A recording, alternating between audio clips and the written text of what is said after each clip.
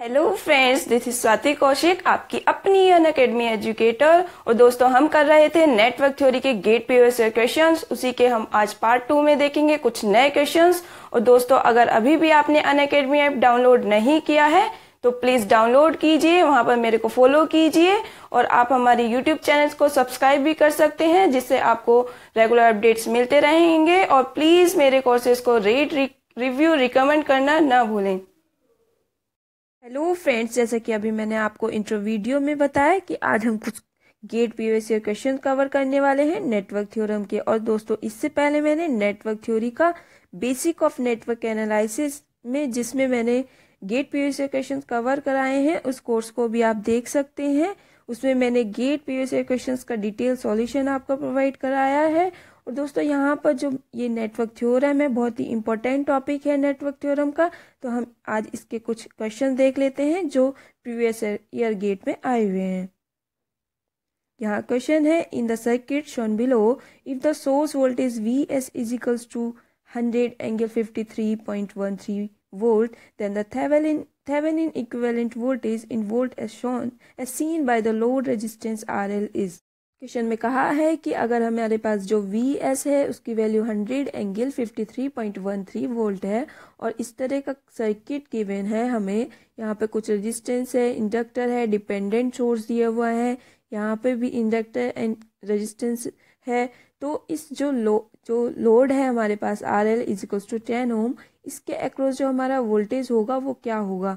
तो option given है hundred angle ninety degree और ऑप्शन बी गिवन है 800 angle zero degree option C में गिवन है 800 एंगल 90 डिग्री ऑप्शन डी में गिवन है 100 एंगल 60 डिग्री इस तरह से दोस्तों हमें यहाँ पर इसका Thevenin equivalent voltage find out करना है अक्रॉस आरएल तो देखते हैं कि क्वेश्चन को कैसे सॉल्व करते हैं।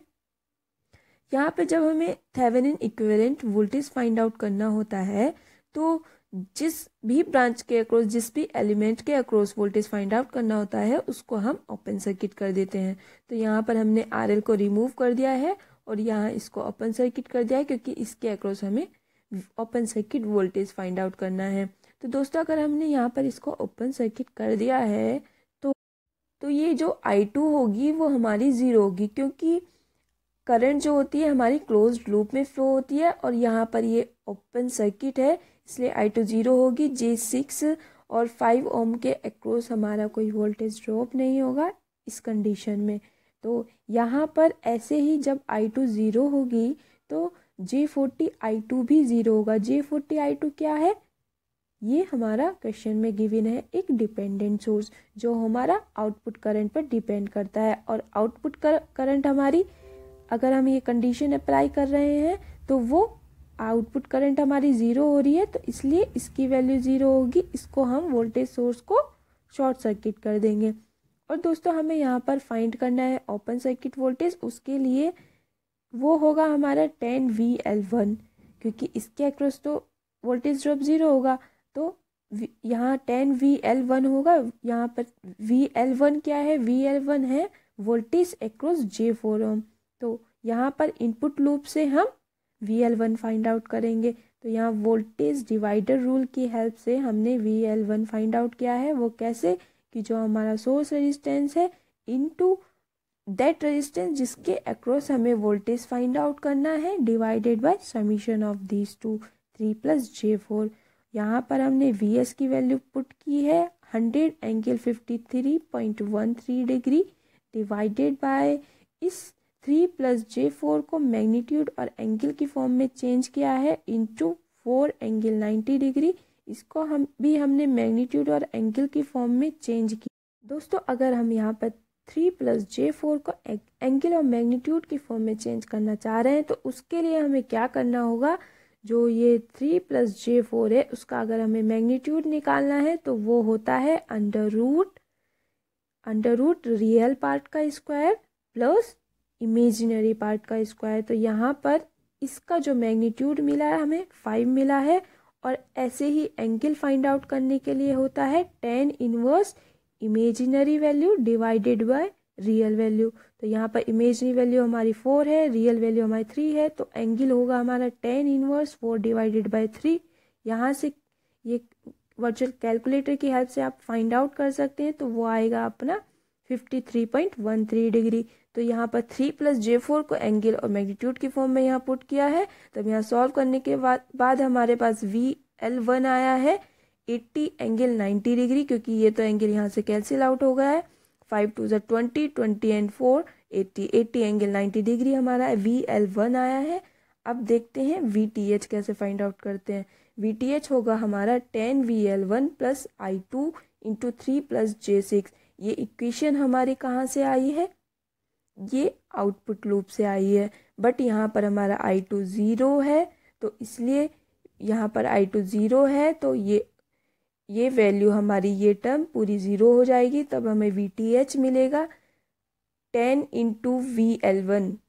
V L one हमें मिला है eighty angle ninety degree ninety degree तो V at V T H हमारा आया है eight hundred angle ninety degree volt देखते हैं कि ऑब्जेक्टिव टाइप क्वेश्चन था तो हमारा कौन सा ऑप्शन मैच कर रहा है? Eight hundred angle ninety degree option C हमारा करेक्ट आंसर होगा। ओके तो दोस्तों, इस तरह से हमने थेवेनिन थ्योरम की हेल्प से और वोल्टेज डिवाइडर रूल लगा के ये क्वेश्चन सिर्फ़ सॉल्व किया है। कोई टिपिकल क्वेश्चन नहीं है। थोड़ा सा टाइम लगा है क्योंकि टू मार्क का क्वेश्चन है। तो दोस्तों, बहुत इजी क्वेश्चन है। इस तरह के क्वेश्चन और प्रैक्टिस कीजिए और अब देखते हैं नेक्स्ट क्वेश्चन क्या है। नेक्स्ट क्वेश्चन है Norton's theorem states that a complex network connected to a load can be replaced with an equivalent impedance इसमें पूछा है, अगर नोटन्स थ्योरम हम अप्लाई करते हैं, तब जो कॉम्प्लेक्स नेटवर्क है, वो किसके द्वारा रिप्लेस होता है? वो जो हम लोड रेजिस्टेंस होता है, उसके अक्रॉस कैसे कनेक्ट होता है उसके साथ हम? अगर नोटन्स इक्विवेलेंट अगर हमने सर्किट फाइंड आउट कर लिया है तो वो जो लोड रेजिस्टेंस होता है तो उसके साथ कैसे कनेक्ट होता है? तो यहाँ पर फोर ऑप्शन दिए हुए हैं कि उस रेजिस्टेंस के सीरीज़ में करंट सोर्स होगा, या फिर पैरेलल में वोल्टेज सोर्स होगा, या उस रेजिस्टेंस के सीरीज़ में वोल्टेज सोर्स होगा, या फिर पैरेलल में करंट सोर्स होगा। तो देखते हैं कि नोटन्स थ्योरम में हम कैसे हम नेटवर्क को रिप्रेजेंट करते हैं। यहाँ नोटन्स थ्योरम में कहा है कि Norton's theorem states that a complex network connected to a load can be replaced with equivalent impedance in parallel with a current source जो कॉम्प्लेक्स नेटवर्क है, उसको अगर हम रिप्रेजेंट करना है तो वो लोड रेजिस्टेंस के साथ कैसे कनेक्ट होगा? पैरेलल में एक करंट सोर्स होगा प्रैक्टिकल करंट सोर्स उसकी, क्योंकि करंट सोर्स होगा with parallel resistance R N होगा। तो इस तरह से जो इसका आंसर होगा कि आर एल के अक्रॉस क्या हमारा नोटन्स इक्वेलेंट मिलेगा?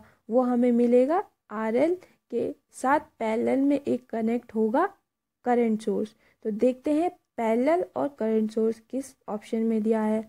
तो ऑप्शन डी हमारा मैच हो रहा है क्योंकि parallel with a current source तो इस तरह से ऑप्शन डी हमारा मैच हुआ है।